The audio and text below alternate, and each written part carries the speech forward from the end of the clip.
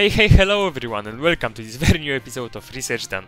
I hope you like the energetic intro music as the stars of today's show are as equally energetic Fennec Foxes. The enclosure for them itself has already been toured and if you haven't seen that episode yet, which is just a shame, link should pop up right now in the right top corner. But not to make it any more longer, prepare your pens and notebooks as we are starting today's lecture. First category being size. Fennec Fox are not the biggest of canids and I think we all know that. And so that means the enclosure for them doesn't need to be very big. According to Global Federation of Animal Sanctuaries, outdoor enclosure for a pair or a trio of small canids to which Fennec Fox belongs should be at least 93 square meters. And as this requirement is meant for a bigger range of species, there are also alternatives for it.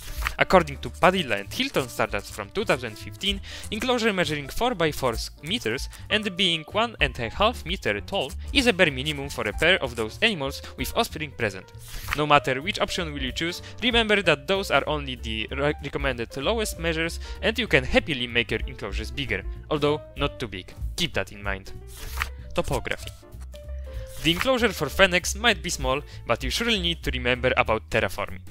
Make sure to keep it wavy so that your animals can use all the terrain advantages. Just don't keep it too flat. That's just in simple words. Fencing. Fennec Fox are absolutely incredible jumpers, and so strict measures must be taken while designing the fence. The minimal height of a mesh fence is roughly 2.44 meter with a 90 cm wide overhang extending towards the enclosure at 35 to 45 upwards angle.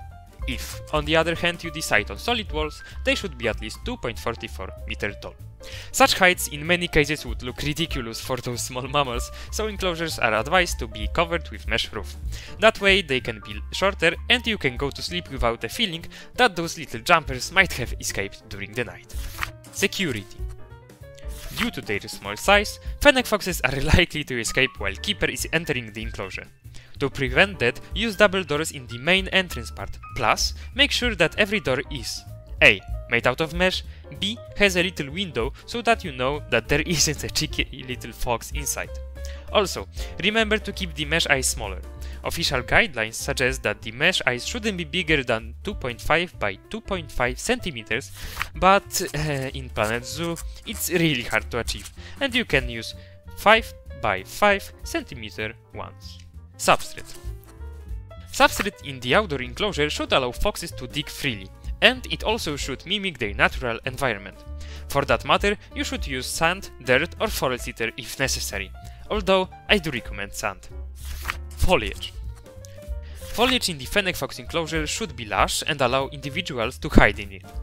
The best for that purpose are tall grasses, which can be of any color you desire, really of any color.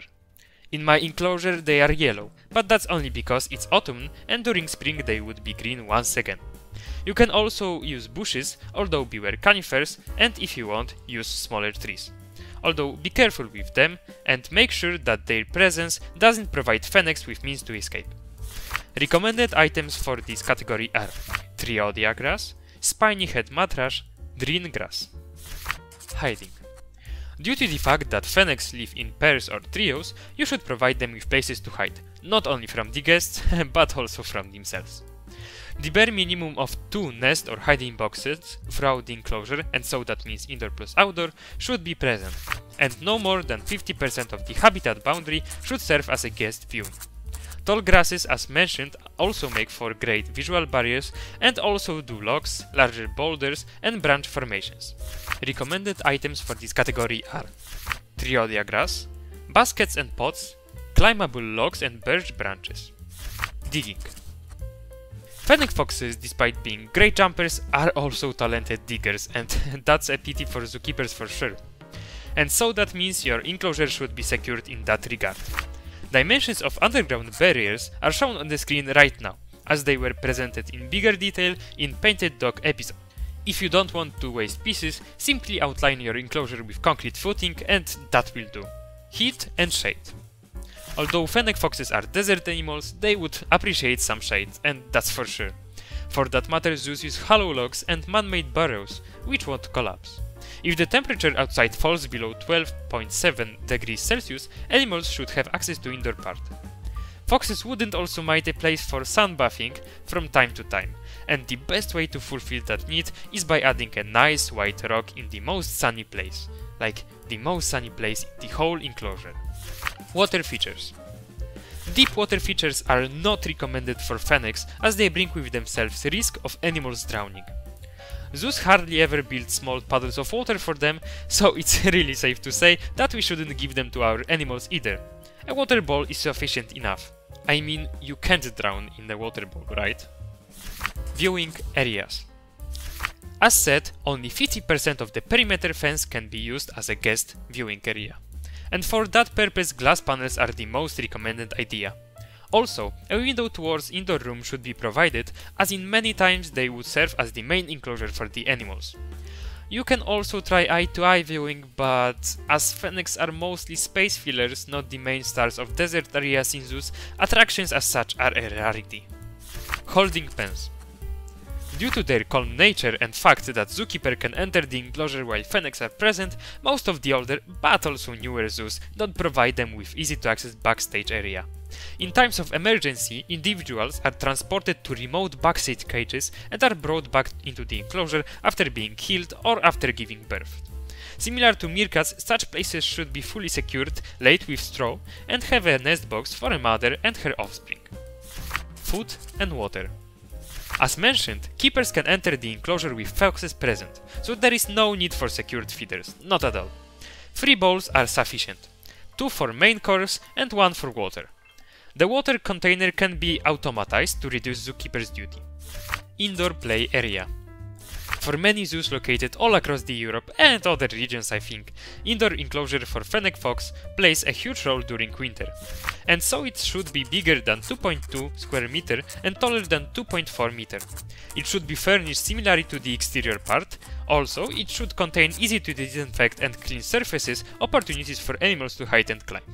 It should also either have a non-slip concrete floor or a natural substrate, which is better for animals' paws. All vents and heaters should be secured with mesh so that fennecs do not destroy them. And we all know foxes, they are pretty annoying when it comes to destruction. Temperature and lighting. Lighting in the indoor area should have the same cycle as outdoors, and so that means when it's day the light is on, when it's night the light is off. It should also spread white light or a yellow one. The whole area should have low level of humidity, which we can mimic by adding vents. Temperature should range from 15.6 to 24 degrees Celsius and be kept at the same level but the hot air vents. It's a good opportunity to have them located nearby rock platforms so that your animals can feel warm while laying there.